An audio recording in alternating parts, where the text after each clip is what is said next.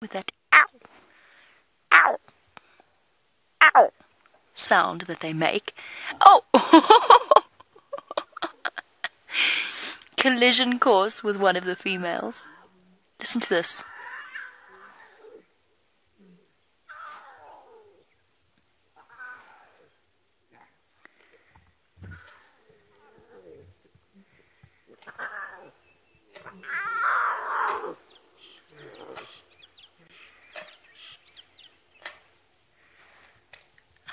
How awesome are those sounds that they make? They're just so incredibly special.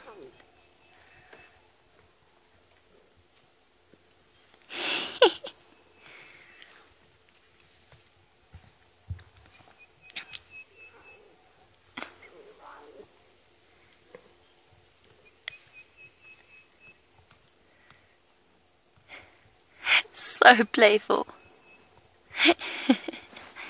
I'm scared of repositioning, but I think that we're going to have to. I stopped here so that we had signal just so you could see them talking to their mum and each other, but now they've moved into a slightly trickier spot.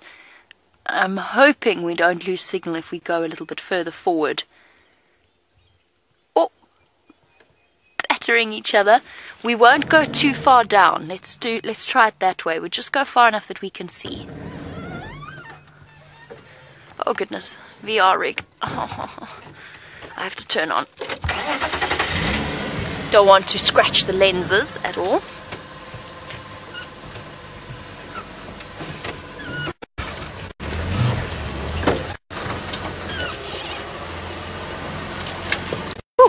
Just missed. Okay. How's your view there, Jandre? Keeps us a little bit higher. I want to go right down in there in case we lose signal.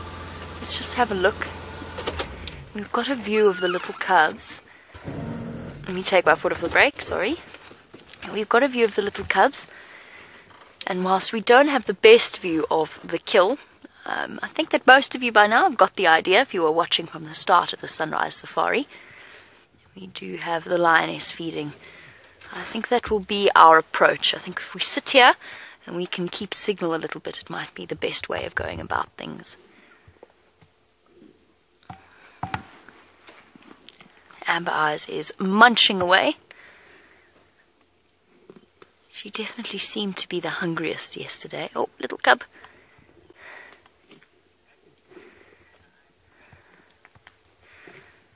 Now, speaking about Amber Eyes and the fact that she very often initiates the hunts that the Nkuhumas go on, Brenda, you wanted to know what position Amber Eyes adopted in the kill yesterday. Honestly, Brenda, it was so chaotic, I'm not a 100% sure. I think that she might have been the one that was clinging to the top of the buffalo, but I really honestly don't know. I'm not a 100% sure. I'd have to look back on the footage to try and see which lioness was where exactly Amber Eyes was in all of that chaos. There was just so much to, to look at and to watch and to concentrate on in terms of where we were driving that I really don't know. Jandre, I don't think you would have noticed either. Jandre was busy concentrating on filming. This little cub has found a stump, which might be the best toy ever invented. I love them, they're so cute. The way that they, they make anything a toy, it's just utterly adorable. This one's got a stump. The one on the right, I don't think Jandre has the best view of, but it's got a piece of bark that is now its chew toy. Oh. Ow. Ow. Such cute noises. Fierce little lion roars, sort of.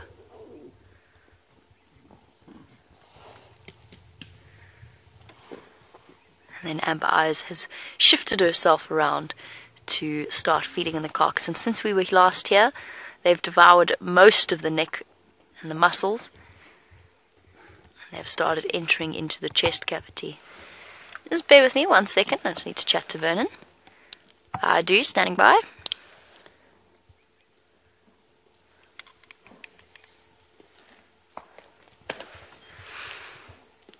Absolutely, you're welcome to make your way. I think Ephraim's pulled out of this sighting just off Yellow Road North, so you're welcome to come.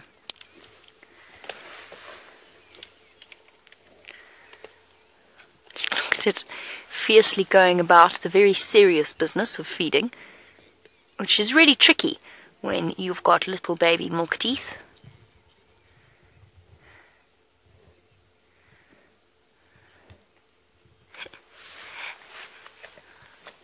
And it looks as though we're actually going to be able to spend the rest of the sunrise safari with these little things, which is so incredibly exciting. I can hear another lioness. Can't see her at the moment. We are going to need to do some shuffling around, which means that I'm going to have to give up this position, and that could mean that we are going to lose our signal. So just bear that in mind.